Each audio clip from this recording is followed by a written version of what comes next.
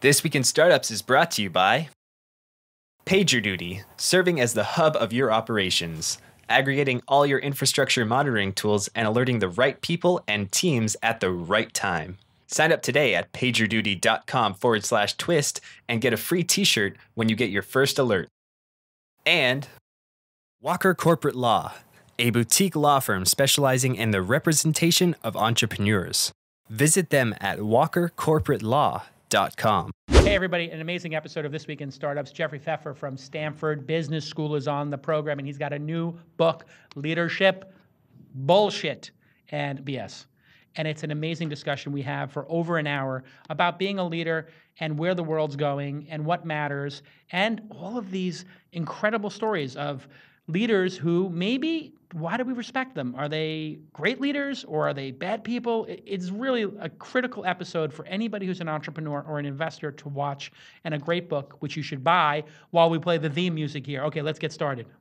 That's what it's all about, man. They said money is the root of all evil. What? Funny how it feeds my people. Yeah. We ain't gonna live like equals until we get the money, spend the money, and defeat you. Money is the root of all evil. What? Funny how it feeds my people. Yeah. We ain't gonna live like equals until we get the money, spend the money, and defeat you. Hey, everybody. Hey, everybody. Welcome to This Week in Startups, the show where we talk about technology, startups, but most importantly, at the end of the day, leadership, right? That's where all these entrepreneurial pursuits begin and end to a certain extent is who is the leader of the ship who is saying, hey, this is where the new world is. This is the voyage we should all take. It is a very, very important subject. And today I'm super excited to have Jeffrey Pfeffer on again, who was on in the first year of this program, second year, 2010. And he is the oldest tenured professor at Stanford Business School. And I'm not trying to make you feel old, Jeffrey, but let's face it. I'm you, old. you, you, we're both get. I'm 44. I don't know how old you are, but you're now. You started at Stanford Business School in '79. In 1979, Wow. And you are a professor of organizational behavior. correct. Okay. Now, when I went to school at Fordham, I was going to. My dream was to be either. I wanted to get my PhD in psychology, either industrial organizational psychology or forensic psychology. I was either going to be Clarice Starling and join the FBI. I'm not making any big announcement here, but I was, you know, going to try to be an FBI agent, or I was going to do industrial organizational psychology. But now I don't see this much industrial organizational psychology around. I don't hear that term. Is what's going on with that degree? Did you have a psychology degree or a business degree when you got it?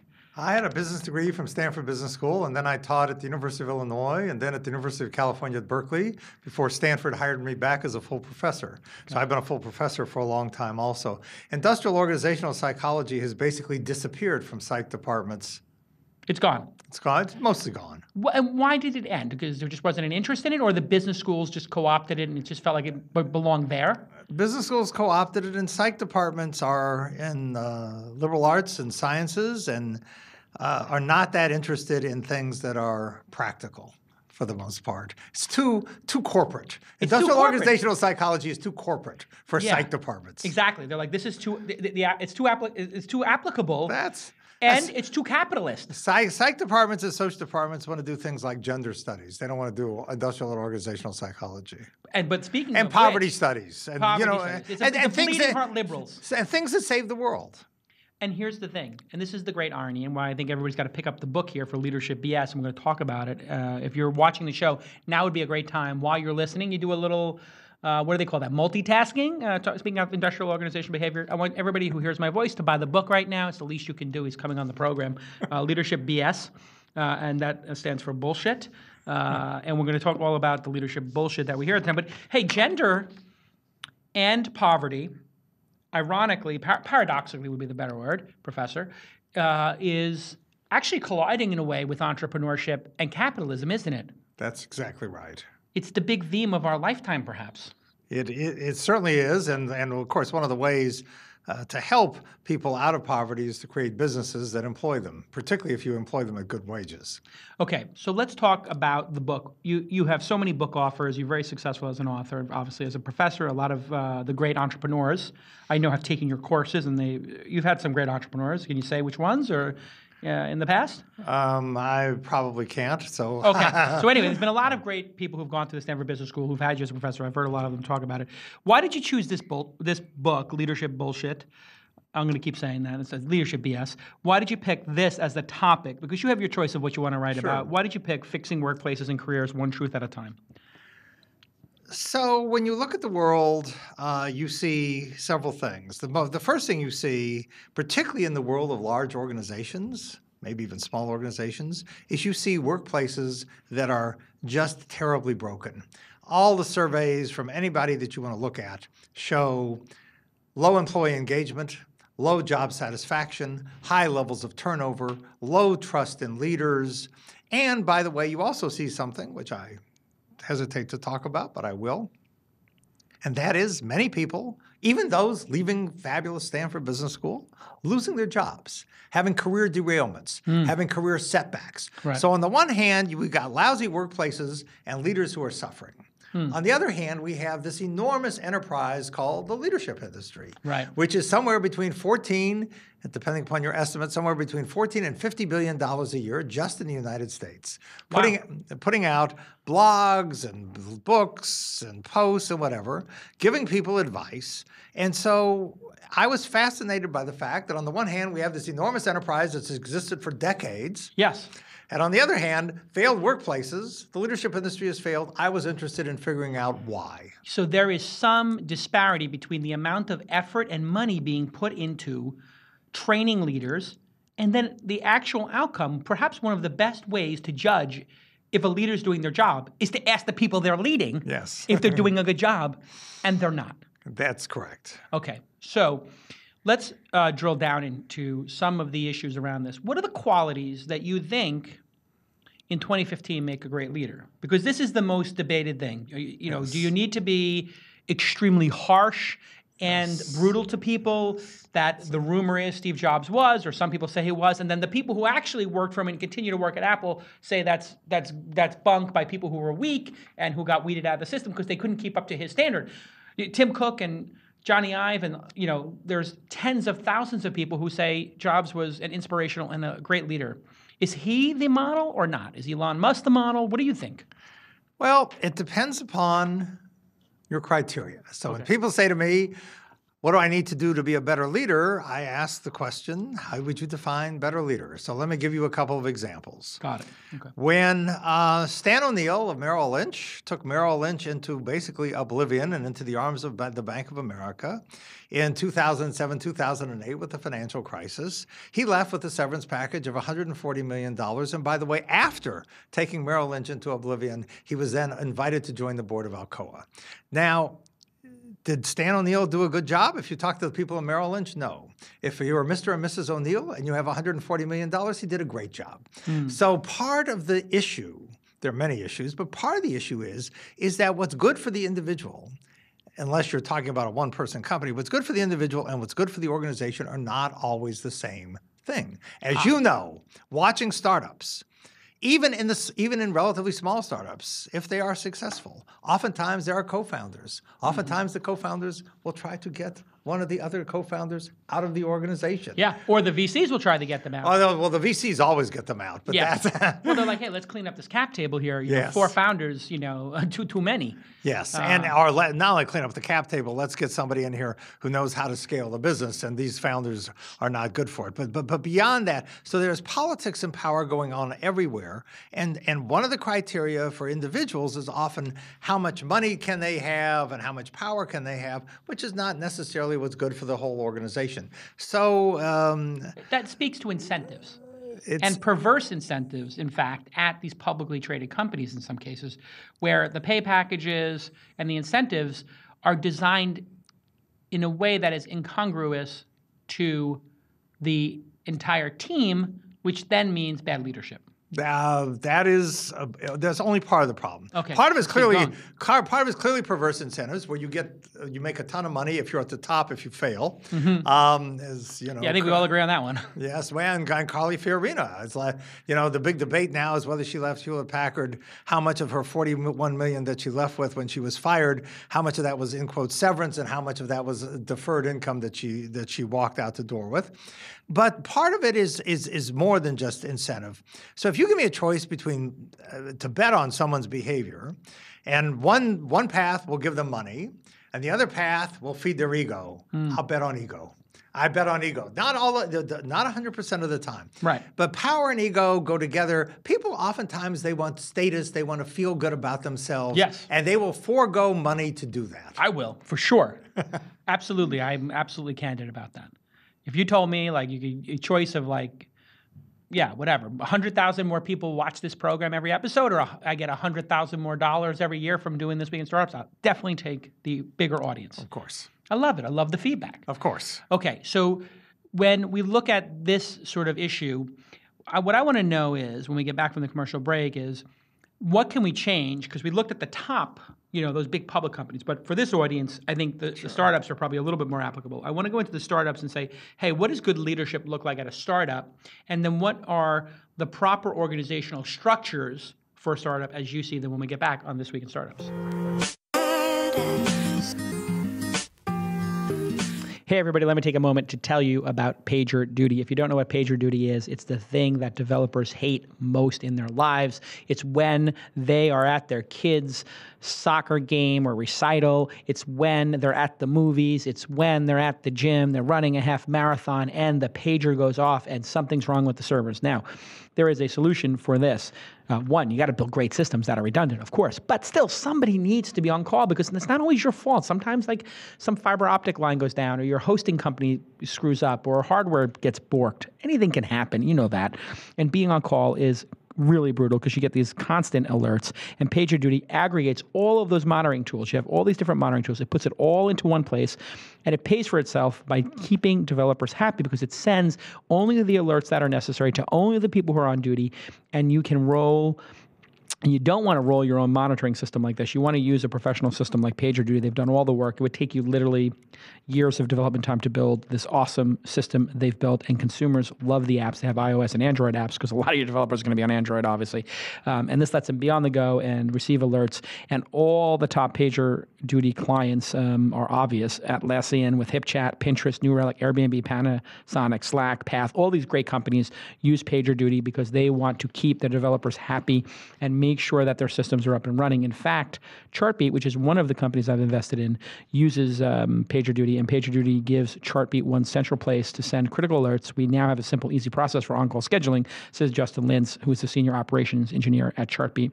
So here's your call to action, everybody. Go ahead and sign up for a 14-day trial at pagerduty.com slash twist, pagerduty.com slash twist. Get a free T-shirt when you sign up for your first alert.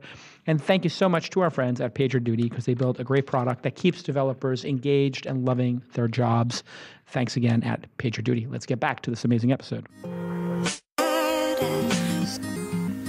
Hey, everybody, welcome back to This Week in Startups. I'm your host, Jason Calacanis. You can find me on Twitter. I'm at Jason. And my guest today, Jeffrey Pfeffer, who is the professor of organizational behavioral, well, just organization, organizational behavior. I keep thinking behavioral psychology, but organizational behavior at Stanford's Graduate School of Business. He's been there since 1979. He's done a lot of great things. Um, and he is one of the most uh, preeminent experts on power and leadership, authored, co authored 14 books, the latest of which is Leadership Bullshit. It's Leadership BS. It's leadership, BS. You're a little bit more couth than I am, but I call bullshit on the title. Just call it leadership bullshit. It's okay. It's 2015. People curse. Everybody's dealing with it. Um, let's let's talk about leadership in startups. And my perception of leadership is at the height of it is: do people trust you, and do you communicate well with people? Am I correct?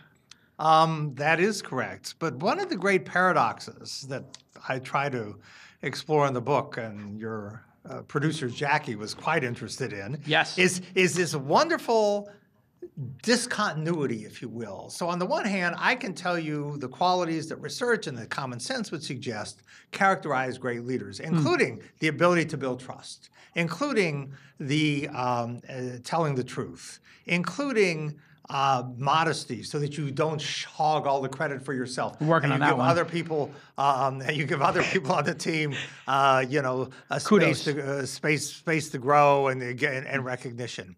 What's ironic is, and you know, and uh, you- there's a bunch of things like that. The the irony is, is that when you look at what we select for, not just in big companies, but what we and what we are attracted to, both in politics and in companies, we actually are attracted to the opposite. So to go back to your Oh, yeah, this is example, fascinating. Okay. so go back to your example of Steve Jobs. So, you, you know, Steve Jobs is in this book. Actually, Donald Trump is in the index of this book. Everybody's in the index of this book because I was very prescient. No, actually, I wasn't. Steve Jobs is in the index of this book. Steve Jobs is in the chapter on lying. Because as we know, um, there is a phrase associated with Apple in its early days called reality distortion field. All of its days. I was lied to by Steve Jobs to my face. Yes, there you go. Um, and uh, and and in the, and in uh, David Kaplan's book, The Silicon Boys, he has a wonderful story which I retell in the book about um, a conversation with uh, about about Larry Ellison, in which um, Kaplan asked Ed Oates, a co-founder of Oracle, "Does Larry lie?"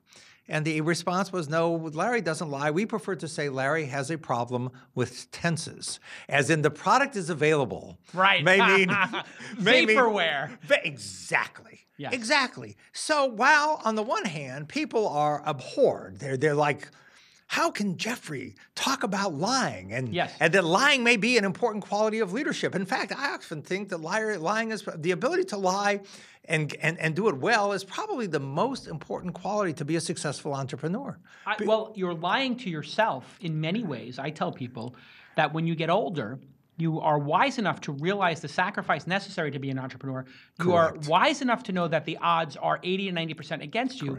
Therefore, you don't take on big challenges. You take on more modest ones that will not result in you getting your ass kicked. That's correct. The delusion is Yes. critical. Yes, but the delusion and, and self deception is very critical. But also, if you think about it, every startup, every organization, but certainly every startup, is going to have setbacks and reversals. They're going to have products that don't work. They're going to have launches that don't go perfectly because they haven't paid attention to you or, or for whatever reason. And at that moment, if they go to their investors and their employees and say, I don't know what the hell we're going to do. You know, they're, they're, they're going to fail. So you have Yeah, everybody to- will quit. That's exactly right. So you have to be able to act with confidence and act as if you know what you're doing, even if you don't. Right. And it's in a way, in terms of, uh, who was it, Warren Bennis, who said leaders, what does he say? Um, leaders define reality.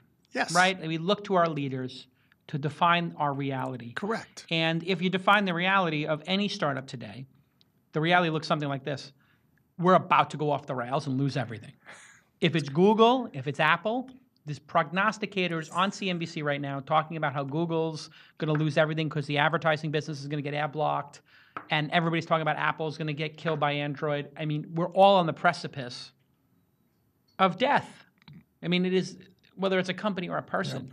So this ability to delude oneself and to, in a, in a way, actually, does it go back to uh, Man's Search for Meaning, um, logotherapy, Viktor Frankl, in that the people who can maintain the most optimistic position were the ones who survived the longest in the biggest moments of duress. I think it's. I think that's partly it, and it's also partly the self-fulfilling prophecy. Ah. Because if if I can convince you that my startup or my product is the coolest thing in the world, and Steve Jobs was a master at this, hmm. you know, if I can convince you that this is the hottest thing, the best people come to work with me, people put money in, customers flock, and then I become successful. And so, Right. it's- so it's, it's it's it's really analogous to a run on a bank. You want you want everybody to believe that your bank, your startup, is going to be fabulous, hmm. and then and then it becomes fabulous because everybody believes that it is. Right, and it, it is a way, in Larry Ellison's way, of just saying, "Hey, we, this this software is magical and it's amazing, and you can get it right now." And by the ev- even though I haven't even thought about building it yet. Right, and get it right now means you can meet with somebody who will take your deposit. exactly. I mean, in a way, it's you know, Elon Musk is so brilliant because when he started these cars, the Tesla, he got people like me who believed in his vision and who wanted to see the world change to give him a full deposit, not a partial deposit, but a full deposit for a Roadster and for a, a Model S. I mean, these are $100,000 plus cars. And we put down full deposits. And then some group of people put down five or 10 after us. But the, the early true believers were so willing to buy into Elon's version of the world that we gave him full deposits, which gave the confidence to the investors to give him more money, gave him the confidence to push his whole $300 million life's fortune at the time into it.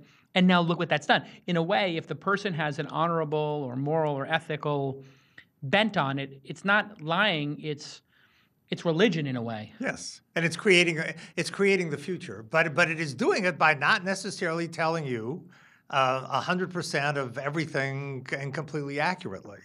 Let me ask you a question about being candid with people. And this is going to be a little bit of a psychology session here because this is the issue I've struggled with in my life. I come from Brooklyn, That's okay. and you're laughing at me off camera, where everybody tells each other exactly what they think of each other in a very candid and sometimes brutal way. And then when I came into my career, I did not have a big enough filter. I said things to people like, well, that's stupid, or you're stupid, or only a stupid person would do that. I, I since have learned to not say that. I just say to my chief of staff, this person is really stupid. Can you please fire them while I'm on vacation and give them a two week severance and tell them we'll be a good reference? So I've learned through a little bit of uh, mentorship to like, I don't have to tell everybody this. But is cand what role does candidness play? Because I meet with entrepreneurs, I tell them, "Do you want the blue pill, or the red pill? Do you want me to tell you the truth of what I think as an angel investor sees everything? Do you want that candidness?" They all say yes. Then I say it. I think some people feel bad. What about candidness? What about honesty? Being blunt? How does it affect leadership? Um, there are some people who want the truth. Uh, you know, my favorite movie scene, of course, is from um, A Few Good Men with Jack Nicholson and Tom Yeah. Cruise. Yeah. You can't handle the truth. Yes. And I think, uh, and I think Jack had it pretty much right. I think in many instances people can't handle the truth. I have a dear friend who uh, worked at a VC firm, was a senior partner at Accenture, and when he came to my class once, he said, um, he said everybody says they want feedback. He said they don't want feedback. They want to be told how wonderful they are. For sure. One, one of the one of the most powerful motives of human behavior is this uh, self-enhancement motive. The idea that you want, or the motive to think good of yourself, Hmm. and so we associate with people who make us feel good about ourselves. Right. And then it's a grand delusion. And Yes. you do need to have some balance between being delusional and the reality of the situation. Yes. I think this actually goes back to Viktor Frankl too, who was like the people who uh, tragically were dealing with, you know, the worst human tragedy of I think the human species at this point in time uh, in recorded history, the Holocaust.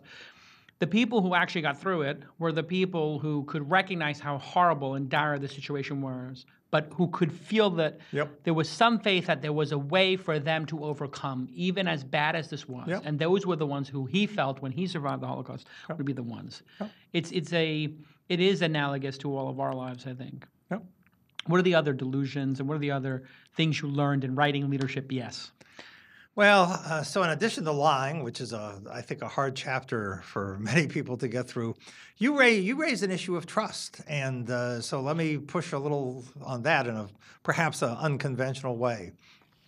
The number one way to make to build and maintain trust is, of course, to make promises that you then deliver on, Ah. to keep your commitments. Right. But if you think about it, there are many companies and there are many leaders who find themselves in changed circumstances in which they cannot keep their commitments. Yes. And so to give you an example that many of your startup friends and colleagues and people watching this should be able to relate to, I had a couple of dear friends of mine who um, started a human capital uh, the, the technology company. It became quite successful.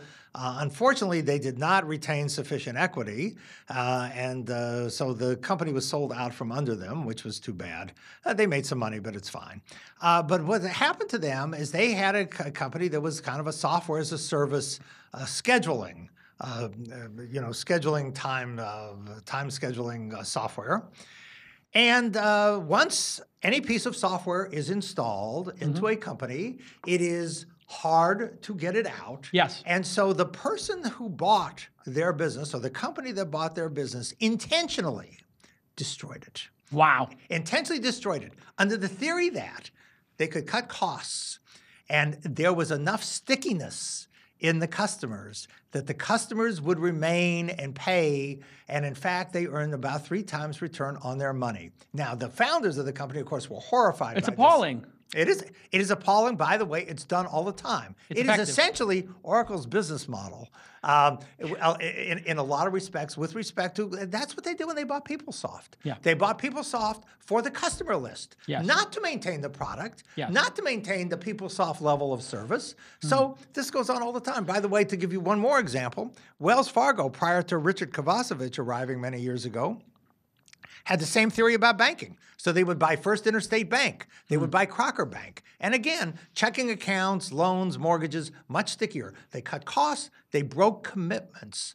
They therefore violated the trust of their customers and in many instances employees too because employees you think about the airlines which have severed you know gone through bankruptcy and severed promises um, uh, made to their uh, made to their employees in terms of pension plans and whatever. I mean, United today is profitable mostly because it has walked away from through the bankruptcy courts all the promises it's made over the years to its employees in, for, in the form of deferred compensation. So.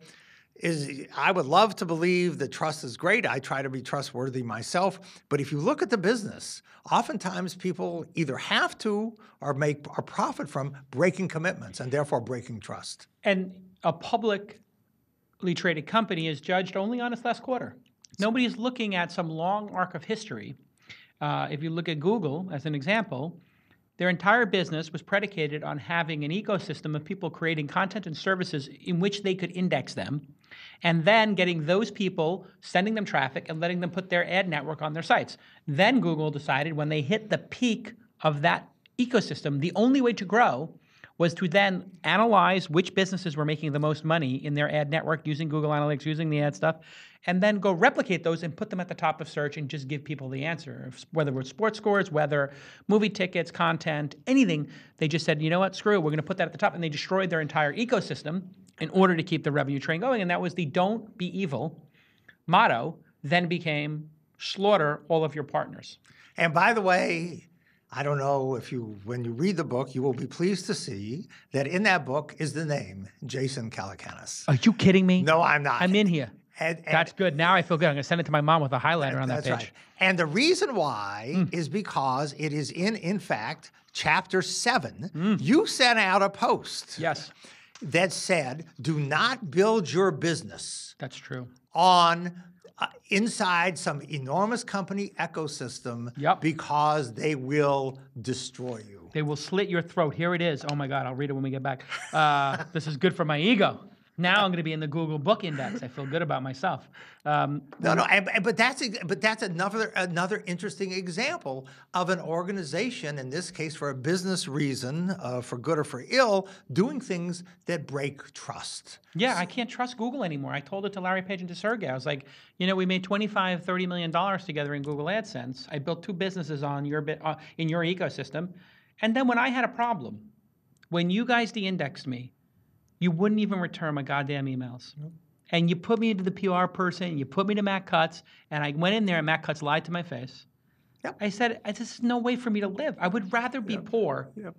I would rather not have Google as a partner. I'd rather piss you guys off and never speak to you again than to have a business partner that I have to worry about slitting my throat while I'm asleep. This is just no way for me to live. That's it. All right. But, Well, the- but I think, but I think the lesson Yeah. for, for startup founders is, you know, I mean, so Larry, Larry Grove, um, Andy Grove, uh, many years ago, wrote a book about strategy called "Only the Paranoid Survive." I think this is a motto for everybody. The idea that you know. Many people have lost their businesses, have lost their jobs, have lost money because they have trusted too much. and in the wrong and in the wrong people. So therefore, as as a founder, what you want to do is, I mean, you you have to trust certain things. I mean, I have to trust that you are who you are, and vice versa. But but within within limits, you a, a reasonable amount of paranoia and a reasonable amount of asking the following question: Somebody's made a deal with me. How big a deal would it be in their economic interest to break the agreement? If it's a big enough economic payoff for them to break the agreement. So brilliant. So brilliant, Jeffrey.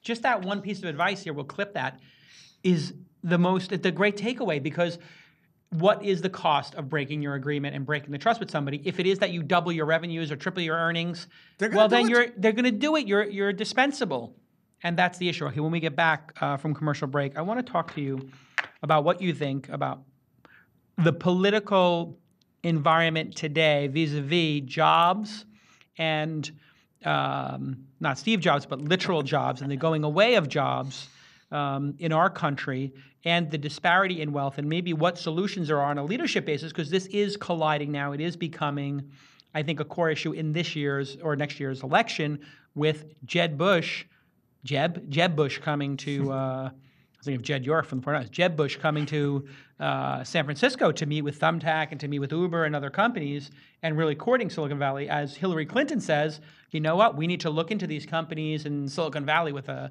with a really distrustful eye when we get back on This Week in Startups. Hey, everybody. Hey, everybody. Let me stop for a moment this amazing episode and tell you about the Walker Corporate Law Group. Yes, they are a boutique law firm that specializes in the representation of entrepreneurs and startups.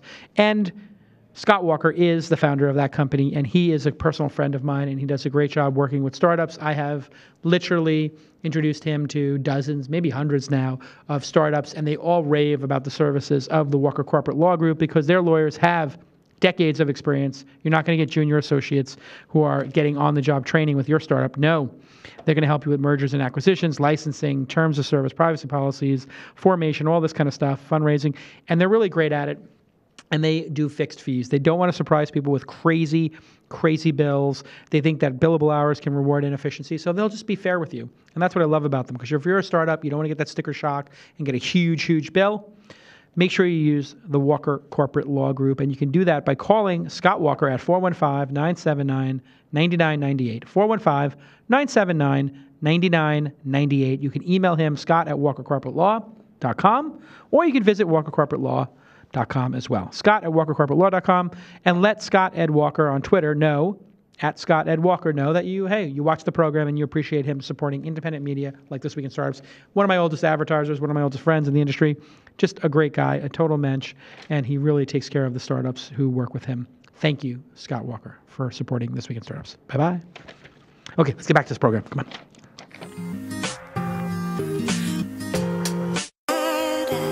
Hey, everybody, welcome back to This Week in Startups. And if you're just joining us, I am having a magnificent conversation with my friend Jeffrey Pfeffer. Pfeffer, not Michelle Pfeiffer, Pfeffer. He is, of course, a professor of organizational behavior at Stanford's Graduate School of Business, where tons of famous people went, like my friend David Sacks, Keith Rabois. Everybody went there. Roelof Botha. Everybody has gone to Stanford for the business degree. You want to hear my standard joke for Stanford Business School? So I meet with an entrepreneur. I say, "Oh yeah, where'd you go to school? Whatever, you know, small talk." And they say, "Oh, I went to Stanford." I said, "Oh, you you couldn't get into Harvard?" And then I meet with the Harvard guys, uh, gals, and they say, "What's where you go to school?" I said, "Harvard." I said, "Oh, you couldn't get into Stanford?" The look, Stanford people are just like, "I- "Why would I want to go to Harvard?" Right? They're just like, well, I don't want to go to Boston, go to Harvard with those a holes. Like they just they they just like dismiss it immediately. Like anybody who wants to go to Harvard Business School is just not a kind of person I want to hang out with. All of the Harvard people immediately are so insecure that the first they're like Harvard's a better school though. I mean, it's, it's objectively a better school. If you look at the success level of the people who've come out of Harvard and they just go into complete defense mode, which is hilarious to me because I could never get into either school. Uh, all right. Leadership Bullshit is the book. Leadership BS. Go ahead and buy. Is it is the audiobook available yet on Audible? Do you I- know? I don't know. Do you read it yourself if uh, that opportunity comes up, or do you just think nobody wants to hear your voice and you're going to just let somebody else? I, professional read it? uh, this is not a choice that I has ever left to me. I would love to hear you read the book. You got a good voice. It's like you know, it's more sincere if you read it. I- Thank you, but they don't. I, they always hire a professional reader. Really? Yep. Don't do. It's such a mistake. Well, tell Audible, don't tell me. or this is my message to Don Katz, my friend at Audible. Come on, let it. Or, or actually, here's another thing. I would read your favorite chapter and just put it out as an MP3 with a link to the Audible one, and then you'll see if people convert. Um, but you know, hmm. Oh, why leaders eat first? That's an interesting one. Tell me about that chapter. Leaders eat first, because I thought the eater, leaders eat last. Uh, that's Simon Sinek's book, Leaders Eat Last. Uh, And uh, this is another problem of why the what's the problem with the leadership literature. There's a big confusion between what people should do and what they really do. Right. So leaders ought to eat last, but they don't. In case you haven't been watching, the ratio between CEO and frontline compensation or frontline comp- uh, frontline employee pay has grown to an enormous uh, level. It's kind of ridiculous. It is it is ridiculous, and in case you haven't noticed, when when when companies get into trouble, it is seldom the leaders who get laid off. It is it is the rank and file. So Hewlett Packard, God bless them, uh, you know, which was a company that was built by Bill Hewlett and Dave Packard on the foundation of no layoffs. Today, I believe this is pretty much all they do is Yeah. layoffs. Hewlett Packard. Only I'm not sure they make the computers, but they d- but they do a great job with layoffs, and they and they and they're laying off tons of people, but but not people not at the top. Nobody lays themselves off. No. it is always the people below them. So so so leaders ought to eat last, but they don't. It is very interesting. We look at um, this issue of jobs in our country and disparity of wealth, the tax system. It feels like 2016 is going to be a referendum on income disparity and the future of employment. I don't know if you agree with me, but what do you think the reality is of employment, you know, for our children and our children's children, given the advancing of technology? Are you one of these people who believes that jobs are going to go away, we'll have net less jobs, or that the jobs will be horrible? What do you think? Um, well, this is beyond my domain of expertise. I'm going Yeah. to a dinner Thursday night in which there's going to be a big discussion about this. Uh, I can tell you that many of the jobs that have been created recently are not very high paying jobs. Um, I- think people, you know, particularly people in the Silicon Valley, believe that jobs are basically engineering jobs. Right. But if you go to the U.S. Department of Labor, you the, first of all, the largest occupation in the United States is still retail workers. Yeah. I think number two on that list is probably truck drivers or transportation people. Hmm. Uh, and you look at what's going on with retail and with trucking, with self-driving automobiles or whatever. I don't think I would be.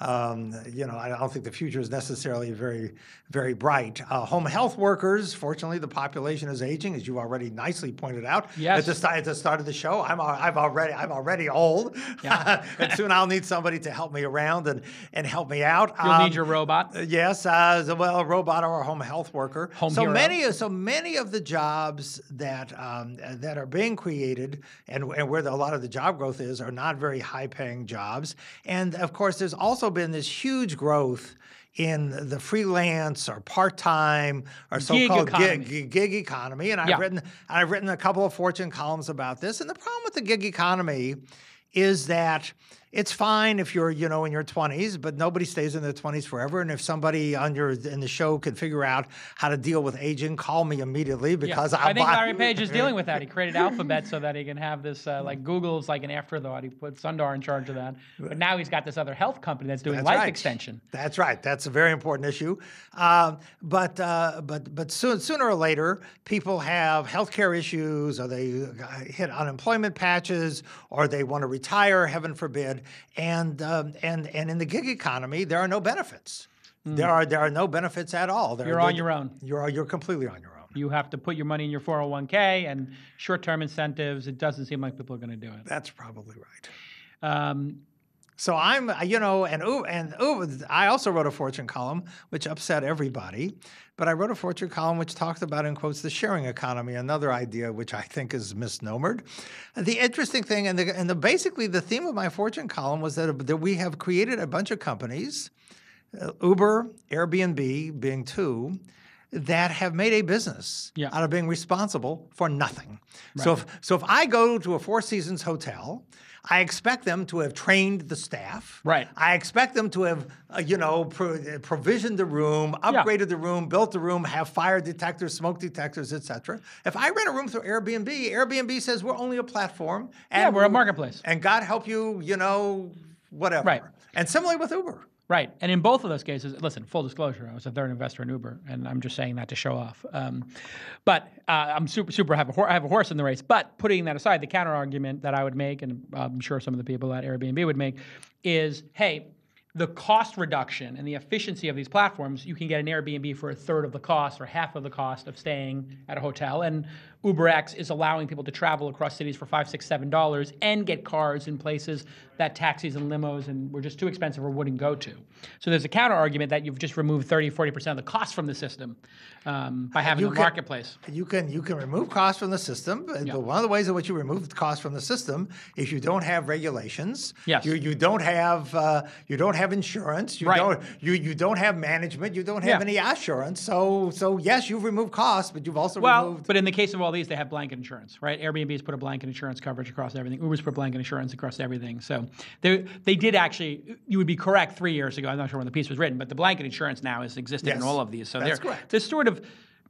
Uh, now work on that, but I mean the other argument is, hey, it's so inefficient to have so many excess, so much excess capacity in the world, you know, of cars of you know that are used four percent of the time, two percent of the time, and of rooms that could be rented that are used, you know, five percent of the time. You know, people have an extra guest bedroom or a pool house or something.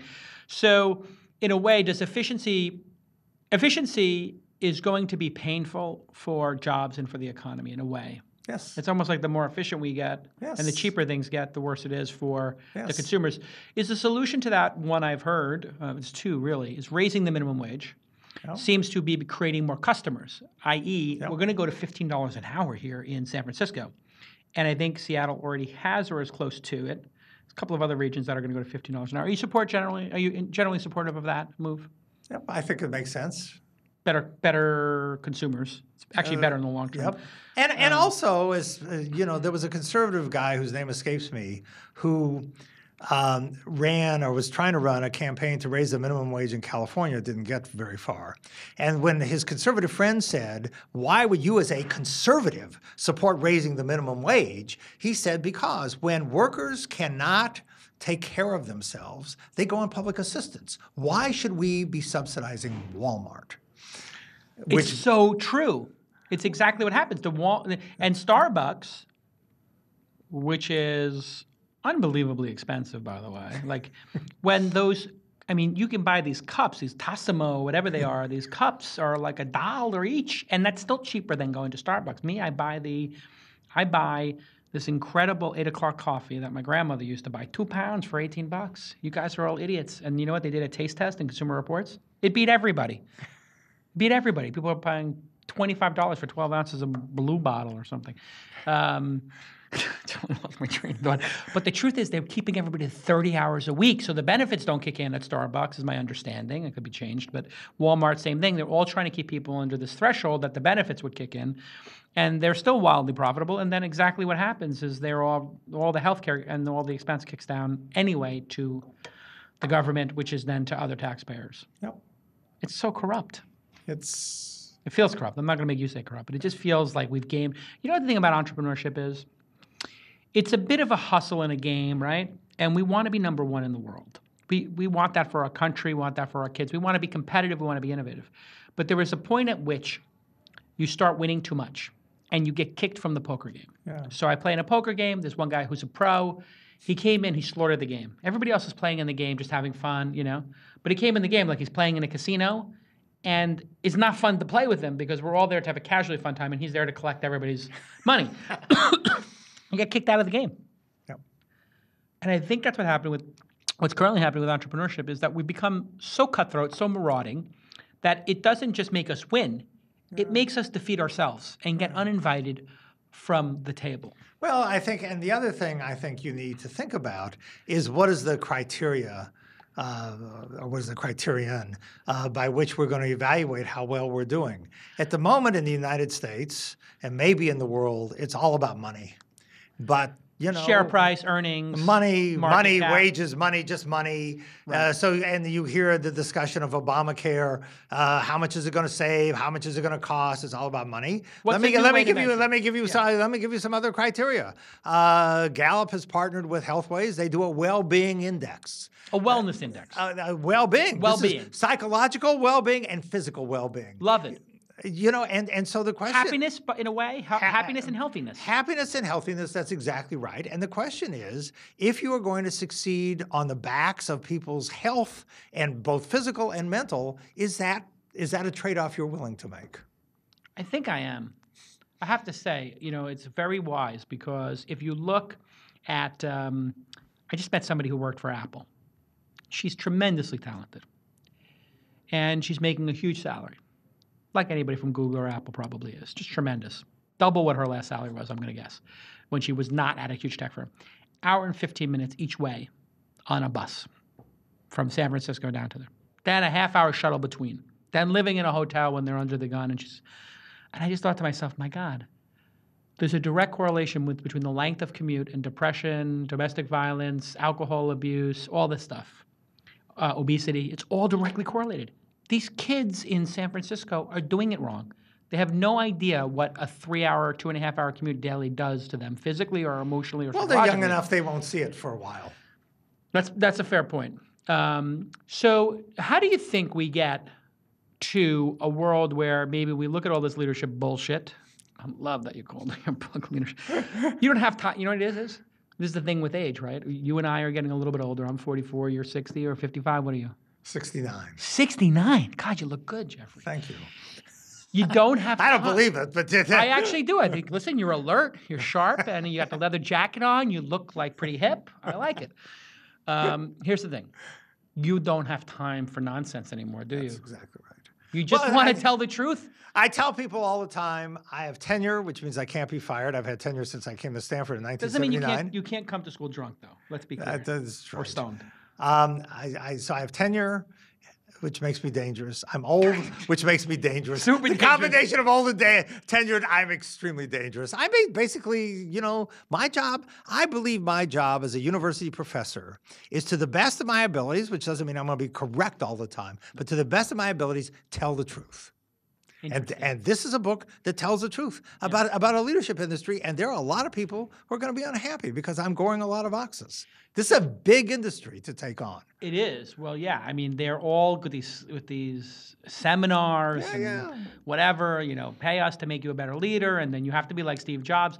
I think it's there's one of these things where in the leadership business, they try to tell you there's like one way. You have to do it this way, the Steve Jobs way, the this way. It's not right. Isn't it a little bit personal, like to the It's- person's personality, It to the person's goals? It is completely personal. And to go back uh, to a theme that you implicitly raised very early on in this conversation, one of the ways to make leadership development more successful is to evaluate it better. Yeah. So at the moment, you go to a seminar, what do you get at the end of the seminar? If you, get- if you get anything at all, what you get is one of these little forms to fill out, happy sheets. Did you have a good time? Did you like it?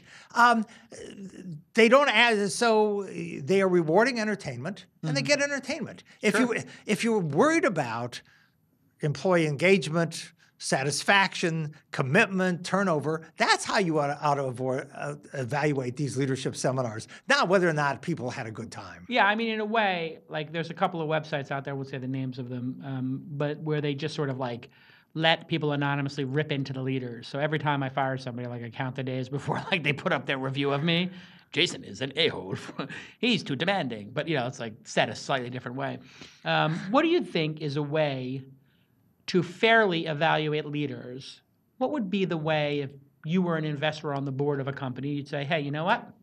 here's how Larry Ellison, here's how Steve Jobs, here's how Jason with a 10 person company, here's how Travis with a 1,000 person company, here's how Brian with Airbnb. How, how would you have them rated?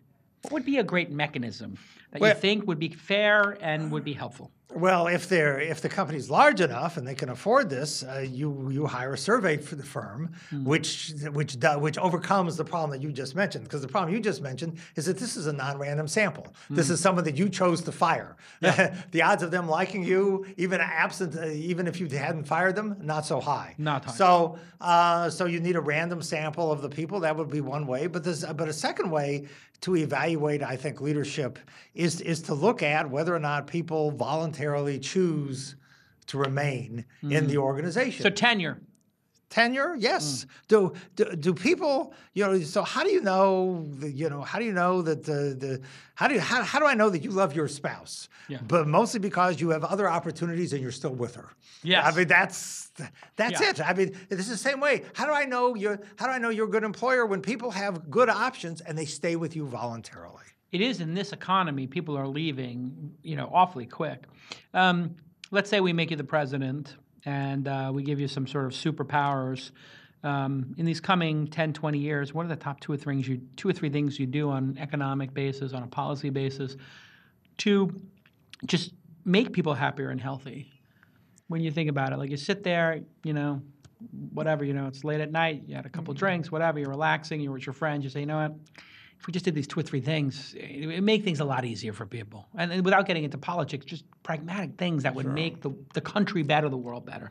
You know, Wow, that's an interesting question. So I'll give you at least one and then we can see what follows from this. So 40, 50 years ago, we decided that um, it was not right for companies to put uh, toxic waste either into the air or into the water. Okay. And that even though people, um, e- even though it would be expensive, we were going to clean up environmental pollution. Right. And so Hudson and so- River looking good. and so we did that.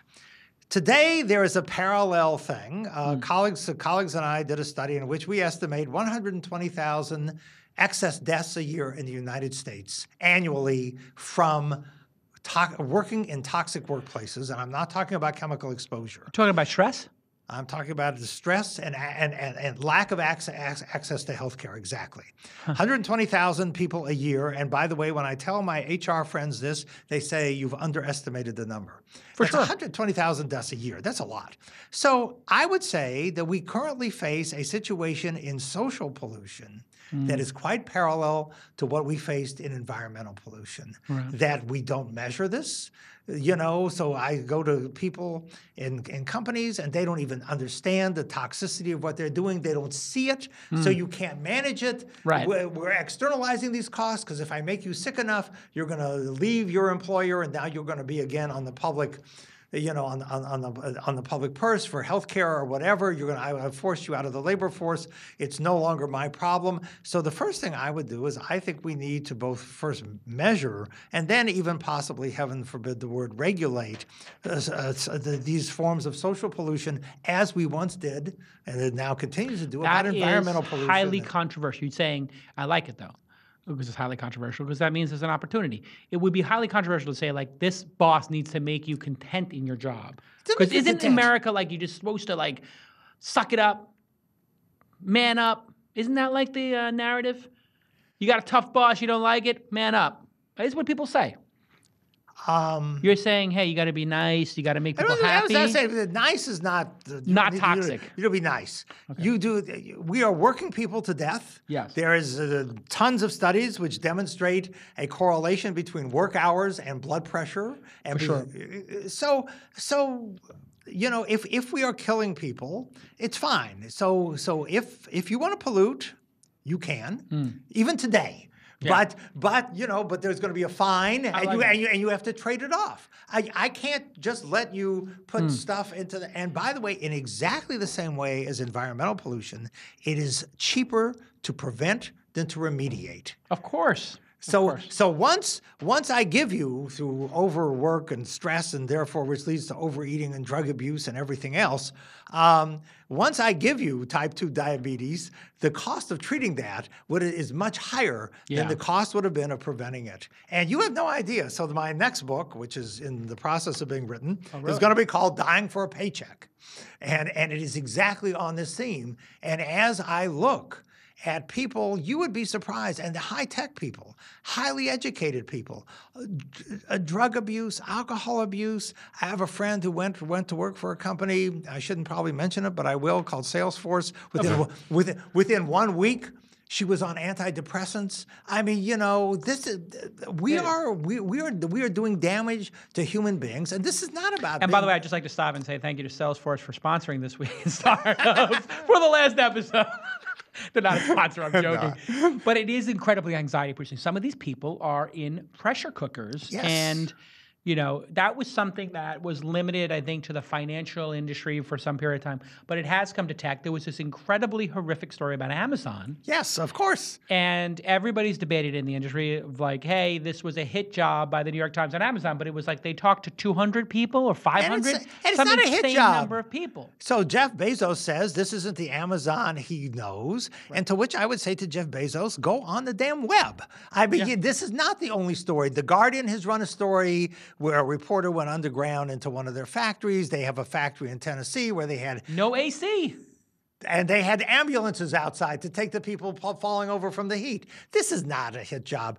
So I got an email from a friend of mine at Stanford who went who went I mean, how embarrassing is that for Jeff Bezos to be a billionaire, spending your money on rocket ships, and you've got Americans working themselves to heart it. I mean, I know Jeff. I've met him a bunch of times. He's a really, you know, nice guy, but I mean, he's divorced from the reality of the people who work for him suffering.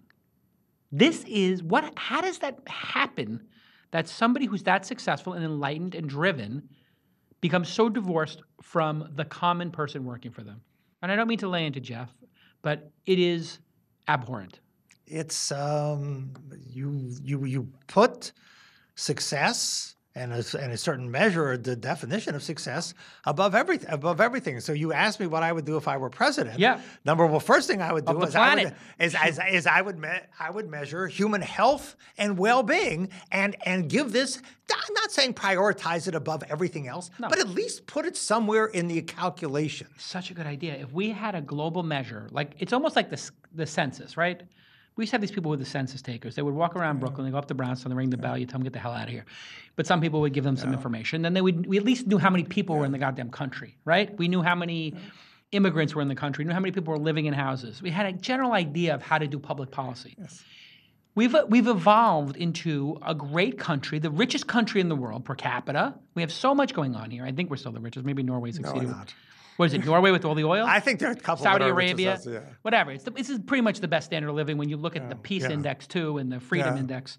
Um, we're not number one. We're probably number 15 on the freedom index. But putting it aside, it's a pretty damn great place. And we don't need to know, you know, the raw numbers of people living here, or their ethnicity or immigrants. What we really need to know is are people suffering or not? Yep. Are they healthy or not yep. psychologically? Yep. I mean, we, we're, as a society moves forward, this is what I've realized. It's like you resolve, excuse me, all these issues, and then it becomes very hard for people. They get very polarized about solving the next issue. So we, we solved public education, we made a public education system. But then, oh my God, we're going to do pre K and nursery school? People are freaked the F out that we're, we're going to spend taxpayers' money. And I'm like, it's one more grade. K through 12, 13 grades. Pre K, 14 grades. Nursery school, 15. grades. So if we add two, it is a net net. At the end of the day, it's like 10% more, 15% more. And it's going to be great. There's going to be smarter kids, and it's better for everybody. Healthcare. It- It's the, the de minimis cost. You're saying everybody gets so up in arms about it. I know. It's one of the, we're so rigid about It's really the political system is just so insanely polarizing everybody. It's very, it's, we could all be very reasonable if we just had professors and intelligent people debating these issues. That's it. That's really it. makes me furious. What do you think about this um, uh, guaranteed minimum income? Is a, there's a lot. This is becoming a little bit of a um, amongst elite people. It's becoming up more and more. As a solution to the to the jobless society. A, a jobless society, a, a, a smaller footprint of employment. Uh, we have a lot of people on the dole. Being on the dole is dehumanizing. It, it's depressing. uh, well, if we just gave everybody 800 bucks a month and they could live in the country or live out in the suburbs, you know, hey, you two people making 800 bucks a month, 1600 bucks a month, they could live in a small, modest apartment and not be in line for welfare and all this stuff. You get rid of welfare, you get rid of all this other assistance, you give everybody just a guaranteed minimum income. What do you think? Anti-American or maybe the most American thing we could do in a jobless future, or a re- Well, it certainly gives it certainly gives people the, the freedom, which is an American value, uh, to spend the money uh, as they want, as opposed Right. to doling it out in these uh, in these very specific things. Uh, but uh, this is like a, the most hypothetical conversation of all because it's we don't have a political system that can pass a budget, let alone this. Right. It's come up as a referendum, though, in some of the Scandinavian countries, which is fascinating to me. It's possible it will pass there in the next 10 years that they'll have some guaranteed minimum income. And you know what? Norway and Saudi Arabia, I think there are some people who have some. Yeah. I don't know if Norway does. Uh, Emmy for for Emmy award winning producer Jackie will probably look that up for me and tell me in the chat room. But I do believe that it's the Saudi Arabia, it might be the Du- Dubai, and it might be Norway now with all that goddamn oil they found is uh, doing um, like a minimum income kind of situation. But it would it would screw with people's motivation in a way. Would you worry about that? I worry about that piece, the motivation. Mm, no, I don't worry that about that. Most people, you know. because you could pass So, so, it. so let me ask you a question. Yeah, Why is. Bill Gates still working? Why is Jeff Bezos still working? Why is Larry Ellison still working, even though he's passed out of his CEO role? These people, I mean, a lot of these folks work point. hard because they are, you know, first of all, because you get the the pleasure of the product that you are producing, you get the social interactions of the people on the job, and because you want to win, you want to succeed. Most people who succeed true. want to succeed. You know, I, I don't They're know. industrious. I don't know what the how much money we would have to give you to change the, what what you do. I don't think it would. I don't think it would Doesn't matter. I got a lot It's- of money. That's exactly right. I, I mean, I've done fine. I don't have to work. I mean, That's I, exactly I want right. to come in here twice a week and have an interesting conversation. That's right. That's it. I'm not going to stop for any anytime There you soon. go. But it is true. Like I, I think Bill Gates is just such an amazing example of capitalism. Um, it's almost the. It, it could wind up being that he might be the poster child for capitalism because he was a very controversial, polarizing leader Yes, very. people said he was a jerk. People he he tore into people. He made people cry. He was investigated for lying and cheating and beating. Uh, he, I'm sure he would be very offended by me saying that, but the Justice Department did give him significant fines for breaking the rules. So there's no debating that. Yeah. And there's no debating these personal anecdotes of people who felt he oh. was just on an interpersonal relationship brutal. And you know Including, by the way, his co-founder Paul Allen. who who wrote in a book Yep. That- he's quoted in that book also. Yeah. I mean, the quote was crazy. I mean, he basically, Bill Gates tried to take his shares of the company when he was suffering from a debilitating disease. Was it Hodgkin's disease? What did he have? God.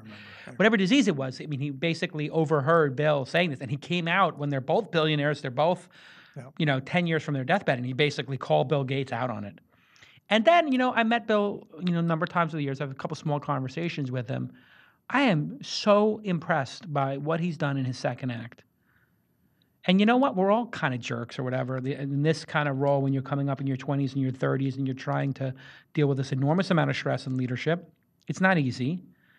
You're you're in a dogfight and you're you're possessed. I I felt I was possessed in my early years to win, literally demonic possession. I wanted to win so badly. I didn't care about the the the the cost of human cost was the last thing I care about. I don't care if anybody's crying. If somebody cried in front of me, I'd laugh. Mm. I literally laughed at people who cried. I had people cried. I started laughing. What the fuck are you crying for? it's business. You're fired. Get out of here. Like just go make yourself better. I mean, I was a, and I, I think that's probably half of Gates, but there is something soulful about what he's doing right now. I mean, to go and to eradicate diseases from the planet, to go and to work on these things that he could be on an island, he could be doing whatever he wants. Larry Ellison bought an island. I mean, it's putting Larry Ellison to shame. Honestly, Larry Ellison and Jeff Bezos, watching Gates, they really should be ashamed in a way that they're not doing something more meaningful with their time, and that they, uh, you know, in, in Bezos' case, that these abhorrent stories are coming out. I mean, I, if I'm Bezos, I would be absolutely mortified. Mortified. I mean, can you? How do you go to your mom? How do you go to Thanksgiving, and your mom's read that story? Maybe his mom's dead. I don't know. But I mean, if I went, if we, if how could I go out in public? When you talk about this sort of like your how you're perceived in the world, how does a person like that? I can tell you. I can tell you. I you- would be so embarrassed. Raised, you've raised actually one of the core issues in in this leadership BS book because one of the interesting things is we say we want leaders that have all these wonderful human qualities, modesty Hmm. and authenticity and etc. Jeff Bezos is number 4 on the most admired leaders list. Unbelievable. That's got to change. It won't. It Because the won't. product's so good. It will not. No, because Oh, because people will rationalize. Ah. So, you know, so there were stories about Steve Jobs and the whatever, Hmm. and the story is yes, but. Yes, but he's built a great company. Yes, but he's Ah. built a great product. Yes, but he's made so much money. So we will make excuses for people who are successful and for companies that are successful. That's so so all you need to do is look at, or your listeners, watchers need to look at, go get Fortune's list of most admired companies. Go look at Fortune's list of best places to work and ask yourself the following question, which I've done for you so you don't have to do it. What is the overlap? Four companies. Only four companies are on both lists. And it's, it's All right. So the list of the best places to work and, And the most admired admired companies. Companies. Interesting. almost no overlap. Wow. Almost no overlap. So we admire. we admire success, Right. toughness. The means, uh, the ends justify the means. Of course, yes. Of course. It's int- it's very interesting you put this out because I do think that we're going to, you know, we're living in a great a time of great change. You lived through the '60s. Um, you were in your, I guess, teens in the '60s or something, Yes, kind of. maybe 20s. I don't know. Yes, that's it. Um, where were you in San Francisco during that time? Ah, no. No, okay. I was Uh, going to college in Pittsburgh, Pennsylvania. Okay. it was a time Mellon. of cra- uh, Carnegie Mellon. Ah, good school. The boys who are, we have a couple entre- I let some entrepreneurs I'm thinking about investing in sit in the studio. It's a great way for me to close deals. They're like, wow, Jason's a really great, maybe I could be on the show someday. It's a good little secret weapon I got. But um, that was a radical time of change. Yes. Right? And everything was open for discussion. Everything, Yes. it feels to me, Yes. I always regretted not being born. I, I always wanted to have been born in the 60s, Woodstock, protests, you know, just that great time of change. I felt like that was where I should have been born. Now I don't feel that way. I feel equally like this is the time. Yeah. There's a tremendous change in the air, isn't there? There's a tremendous amount of uncertainty, I think, and Hmm. there's a tremendous amount of um, there's a tremendous amount of people trying to basically BS their way through. We Hmm. got the, we got an economy. With all due respect to your visitors, the Chinese economy, Yeah. uh, which is b- BSing its way through. I don't think anybody believes the official figures No. out of out of China. Nobody nobody understands the the condition of their banking system, including, by the way, the people on the top, because they're big people all up and down the Fraud line. from the bottom to the top. That's correct. I mean, if you'll put plaster in baby formula, like literally people have been arrested for this. Like, Yes, of course. If, people will Yes. mix fillers into cement and have buildings collapse, Yes. it doesn't take a genius to realize that an unregulated economy that institutes some you know fakaka version of capitalism into an unregulated economy it is going to be an unmitigated disaster when the music stops how bad will it be you think? It's going to be it's going to be bad, but it's not just but it's not just China. I think we have I think there are issues of as you know in the United States uh, in the 2007 2008 and only time will tell whether that situation has been cleaned up. Uh, we, Could be some remnants. We, we had we had financial statements that bore almost no resemblance to the, rea- to, to, to the reality of companies' real well-being. Yeah. We had uh, we had CEOs lying about you know the condition of their balance sheets, and and still with the with the quarterly numbers, who knows what people are doing uh, to make all of these uh, to, to make all of these things. So we live in a we live in an interesting time. We also live in an interesting time. You know, you, all you need to do is walk to your lovely office, or for that matter, walk anywhere to the beautiful gilded on with gold leaf on the top, courtesy of Willie Brown City Hall, and within the in the five hundred million dollar you know so fabulous city library, and between City Hall and the city library, there's homeless people uh, living living on the living in the street. It's just it is unbelievable. And by the way, this if I could. is the worst run city i mean i lived in the greatest city I don't know how Ed Lee can run for mayor unopposed. You should be running. I'll run for mayor. I'll tear this place up. It'll be you think Giuliani and Bloomberg. I will. I will be the literally. If you put those two gentlemen together, like I will tear this town apart. It would. It would be otherworldly. The protest. I would literally have a thousand anarchists and protesters outside of my building every day because I wouldn't deal with any of the shenanigans. If you deal crystal meth openly, I mean, I don't mind if you smoke smoke weed all day long, but if you're going to be on methamphetamines and bath salts, not in my not in my world. Ed Lee's an embarrassment. Jane Kim, very sweet person. I've met her a couple times, but it's embarrassing that the Tenderloin is how it is. That's, And there's an acceptance in the city. I've only been living here for a year. The acceptance and the openness of the city is fantastic when it comes to transgender and gay and folk singers and poets. 100% for it, but not for people who are violent, men, either violent or or mentally ill or abusing. Let's just say the top three or four most aggressive drugs. I'm totally for decriminalization of drugs. Uh, but I am not for people taking bath salts on the street and me- methamphetamine on the street. This is dangerous shit. And by the way, it's expensive because when, they, when these folks overdose or when they're on and they go to the San Francisco General Hospital emergency room, it costs real money. And it's much, again, it's much cheaper. Hundreds of thousands of dollars. Yes, it's much cheaper to prevent this. Uh, there are places in the country, not this one, um, where they're actually starting to give people free housing. Housing big- first movement. Yes, is what it's put, called. put, the, put put them in housing. Give them social workers to help them. Give them food. It's a and And, and keep them out of the damn hospitals where it's where it's costing a ton of money. Uh, it's it's so obvious. There, I think they're, they're spending in this city. On, there's seven thousand homeless people. They have incredible, wonderful studies on homeless here. I know this because I'm an investor in a company called Hand Up, trying to help this situation. And let me just say, I mean, I may sound like I'm being a jerk right now. I am 100% sympathetic towards the plight of anybody who is suffering from mental illness, drug abuse, and who's homeless. I do think that this city is just absolutely insanely poorly run, and that housing first would work. And the fact that the richest city in the goddamn country cannot put a housing first project together is a complete and utter embarrassment. Every single person in this government in San Francisco should resign and write a fucking apology letter. I'm dead serious.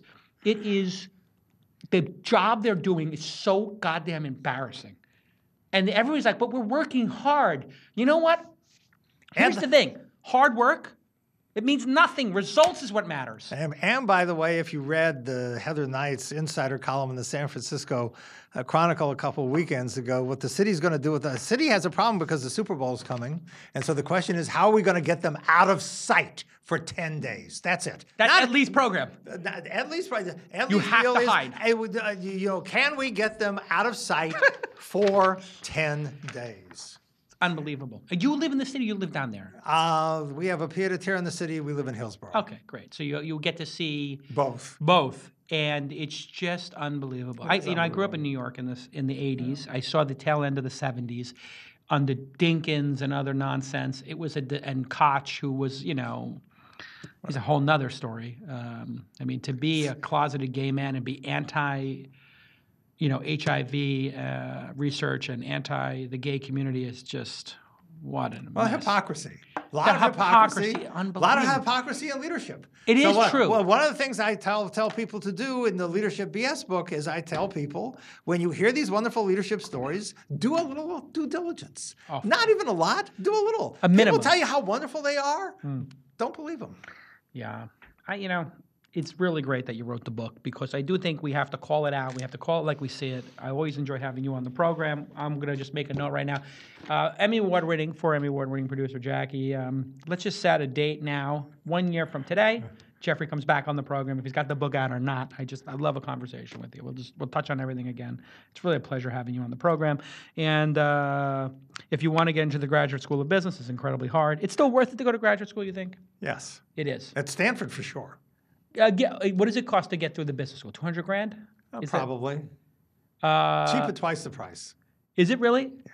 Because the people who graduate from there just do phenomenal. Because it's because you've you've bought your way into one of the most amazing social. First of all, you get a fabulous education, Right. and secondly, you bought yourself uh, a credential which is golden. it is. It is. It's still worth. I agree. If you get into that level of program, you're going to make 250 grand a year. So the 200k is a bargain. It's just one year of your salary. That's right. Yeah. Th- These other schools, the University of Phoenix, whatever, these people are charging, and it's like these poor, like, I just think that breaks my heart in education. You have these GIs Yep. uh, they're coming back. They got everything stacked against them. They get an IT degree online from University of Phoenix. They go 50k in debt, and then they think they're going to get a 100k job, and they can't get any job because IT business is going away. Horrific. All right, everybody, buy Jeffrey Pfeffer's Leadership Bullshit. I'm calling it right now. Leadership BS. Uh, fixing workplace and careers, one truth at a time. What a great discussion. Loved having you on the program. You can follow Jeffrey Jeffrey Pfeffer, P F E F F E R, on the Twitter, and read his column in Fortune. You do that what every month? Twice a month. Twice a month. I get your emails. I'm on your email list. You're on my I email know. list. We, I, I always, I always click through and read it. I'm gonna have to write a rebuttal to one of your pieces one of these days. That's fine. Uh, no, you you know what? You, where where'd you grow up, by the way? Uh, You're an East Coast guy. You grew up in Pittsburgh. I Where- was born in St. Louis and grew up in Tucson, Arizona. St. Louis, huh? But I have a former student of mine from this last year who told me that if I showed her my birth certificate with St. Louis on it, she wouldn't believe it. She believes I'm from New York. You, you, I, does, I, you feel like you're from the Bronx. I feel like you're from Bronx. I don't feel like you're from St. Louis. St. Louis. No, St. Louis is legit. Actually, you know what? You want to talk about St. Louis pizza? Maron. There is a place called Tony's Napolitano in the city. I don't know if you know it. It's it's an amazing in North Beach. I mean, and I'm a pizza guy from Brooklyn, and they have a St. Louis style thin crust pizza there that I literally wake up dreaming about. And I've lost 10 pounds on this keto diet because I'm not allowed to have any carbs. I uh, the day I get off this keto diet, I'm going there to get the St. Louis pizza. There you go. It's my final plug for the show. Hey, thanks to the sponsors and uh, WeWork. Hey, thanks for uh, sponsoring us. Two great years we've had here. I really appreciate it. WeWork is a great place for you to go work. Ashley, thanks. Uh, Ashley and Bryce doing a great job in operations. And the Launch Scale Conference is coming up October, whatever, 12th and 13th, I think. And then the 14th and 15th is the Launch Mobile event. Go to launch.co. You'll see all of our great events. And remember, our events are free for founders. And people are paying three or four thousand dollars to go to TechCrunch Disrupt. And I can tell you a little secret. I have messed and disrupted Disrupt so much that if you email and you complain to them about the $3,000 price tag they're gouging founders with, they'll give you a free ticket uh, they couldn't get anybody to come to disrupt this year so they started giving the last couple of them it's really the, the conference is waning and people have realized paying $3000 is a ripoff and they don't want to pay it to verizon or aol whoever's in charge of that thing now and they're giving everybody free tickets. So if you paid for a ticket to disrupt you're a sucker. You are an idiot. A bunch of founders are getting free tickets. I talked to two today I said, You're going to disrupt. How did you afford $6,000 in tickets? They said, I emailed. They said I had no money. They gave it to me. I talked to another set of founders. They said the same thing. If you pay for Disrupt, $3,000, Jason Calacanis, I'm telling you right now, he's saying, You're an idiot. You got suckered. And don't pay $10,000 for a demo pit table there either. I give those away for free too. I don't have to make any money off these conferences. I just do it for the fun of it, have a great conversation. That's good leadership, right? That's great. This is my thing about leadership. I am so goddamn lucky. I've done so good in my career and I'm an outsider. I just want to give back as much as I can. I'm 44, whatever I got, 20, 30, 40 years left, Jeff. I, I just want to give back as much as I can and then invest in some companies and have them turn into billion dollar companies and make a ton of money and get a jet. It's not so wrong. I'd like to buy the Knicks. I mean, really, I, The Knicks. I Because just you want want to fix them. that's it. I it's been so tough since Patrick Ewing uh, and Charles Oakley and stuff. I just if I that would give me peace in my life. Forget about being mayor of San Francisco. I'll do that if I have to. If I'm called to service, I'll do it. But the thing I really want to do, Jeffrey, is I just want to make a couple of billion dollars and then buy the Knicks. And then I'll make it into a, a benefit corporation. And the benefit for the city of New York and for Knicks fans will be championships. That's my platform. Enough. Jeffrey's got to get back to Stanford. All right. Thanks a lot, Emmy Award winning producer Jackie. I just love working with you, Jackie. You're the best producer I ever had, and I've had so many great producers. I just want to thank you, Jackie, for making my life so easy and making the show so great. Thanks again. All right, we'll see you next time. Bye bye.